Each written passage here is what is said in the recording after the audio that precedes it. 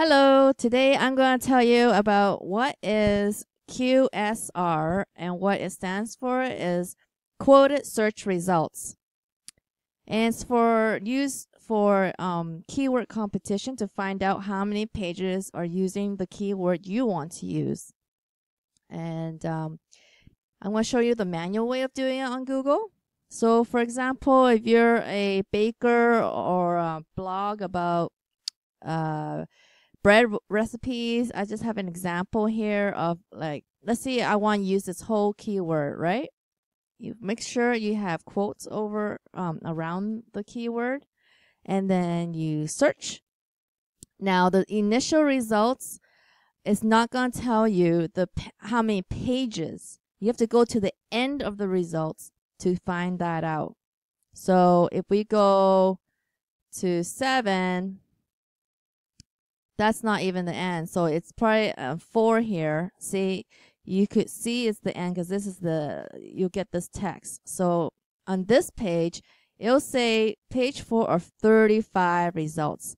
Now that tells you that there's 35 pages using this exact easy gluten-free bread machine recipes um, keyword phrase. So that's pretty good. 35 is not a lot of website pages that have that.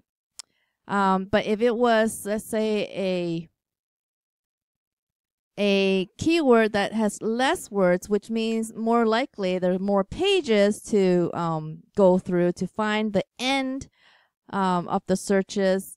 And it, will be easier if you had some kind of automation um, tool to find this up instead of going to the very trying to find here. Look, I'm still searching on 19 pages, 20 pages. It's hard to get to, right? Finally. So I'm going to go previous and now it's going to show me. Let's see here. I guess it's the 20th. 17, nope. 18. Okay, finally, I find this.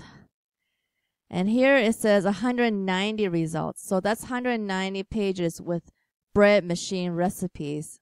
So you see how long that could take, right? So if we go back to the keywords I was using earlier, I just want to show you. Um, so, so let's go to the end. I think it was page four. Okay, so here's the end. And there's 35 pages.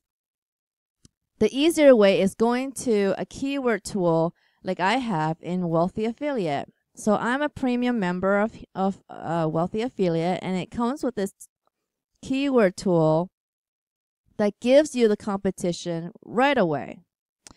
So if I search here, there I could see that there's and this shows you how many searches um, people are making in Google uh, per month. So there's 96 searches per month for this um, exact keyword phrase. if I look at the competition, it says 37. Uh, Google says 35, so it's there is a little bit uh, discrepancy, and it there's like about a 10 deviation. So um,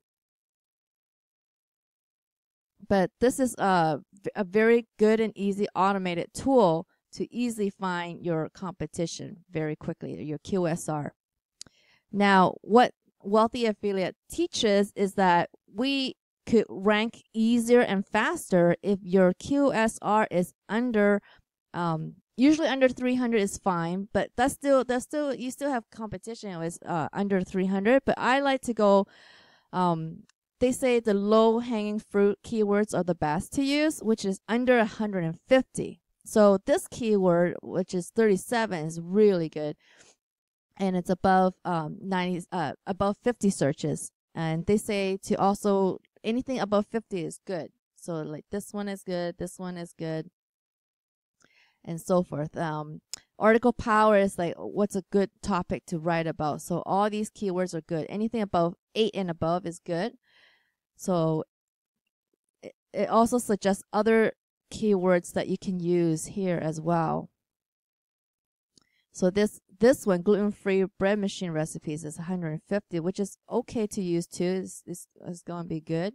But and, and this one has a lot more searches. So um, but this one you're more likely to rank on on first page if you have really good content on your on your um, page. So I just want to show you this free tool um, that, or it's included in your membership here at Wealthy Affiliate.